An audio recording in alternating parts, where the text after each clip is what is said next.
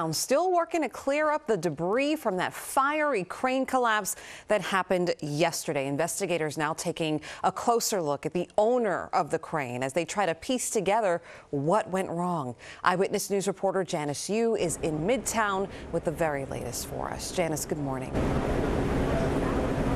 Good morning. Still a lot of activity here today. Um, and take a look. The part of the crane that actually fell is still here. A part of it uh, in that scaffolding area and kind of uh, leaning into 10th Avenue right now. And the cleanup and investigation into exactly what went wrong continues this morning. So this crane was about 45 stories up on a building that was under construction. It was pouring concrete, constructing a new high rise.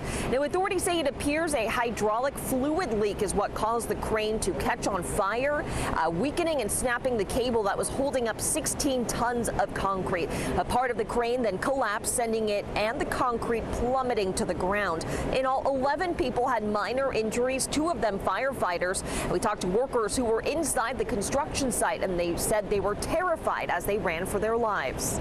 Once we started running down the building, we just heard a big boom. Everyone's like, get out of the building, get out of the building. I looked at my partner, I said, well, both of us, we knew we gotta get out of here, man. It was something out of a movie, you see, some, something out of a movie. It was, it was, it was something else. I was like, thank God everybody's all right, but as I'm in the building, I could have swore it was my last day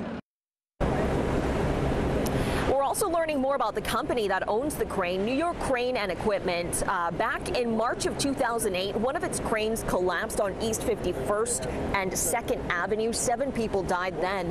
And then in May of that same year, two workers died on the Upper East Side. The company and then owner were charged with manslaughter and criminally negligent homicide, and they were later found not guilty. Now, we do know the crane operator attempted to put out the flames. Others ran up with fire extinguishers. And when I talked to workers yesterday, they actually said a couple of them, when they ran down the building, uh, went into 10th Avenue to stop traffic to prevent any more cars from coming uh, before the part of the crane and that concrete fell. Live in Midtown.